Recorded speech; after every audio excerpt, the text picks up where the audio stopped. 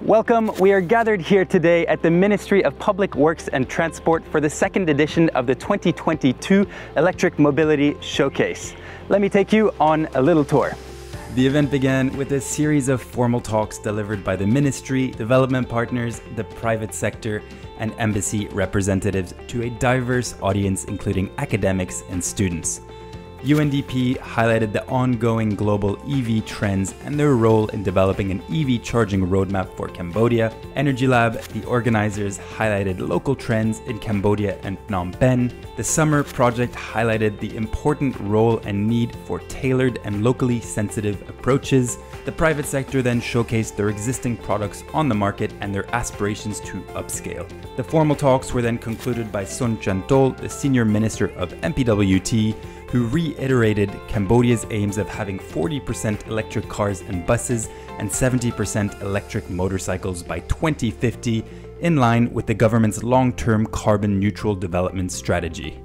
He also highlighted the need for proactive participation of all ministries, institutions, and stakeholders to formulate and implement policies, strategic plans, and roadmaps to ensure the smooth and successful dissemination of EVs and their supporting infrastructure, taking into account the energy sources and the recycling and disposal of the batteries.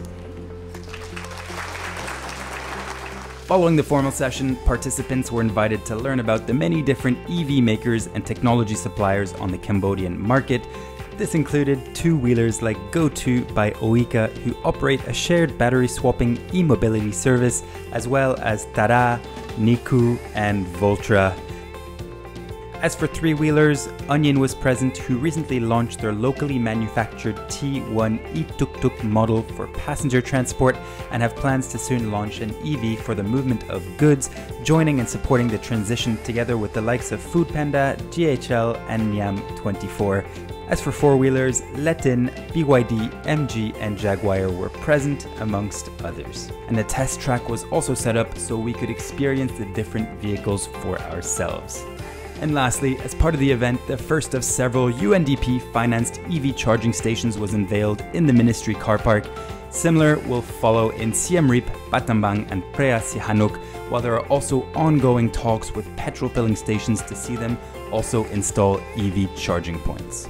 On behalf of the SMMR Project and the Ministry of Public Works and Transport, we would like to say a big thanks for watching as you can see, many exciting things are happening here in the Kingdom of Cambodia, and we strive to make Cambodia one of the innovative Southeast Asian nations on the EV front. So for more information on the SMMR Project and MPWT's efforts, please check the links below. Until next time. The SMMR Project is an ASEAN-German cooperation project implemented by GFA Consulting Group and partners on behalf of GIZ.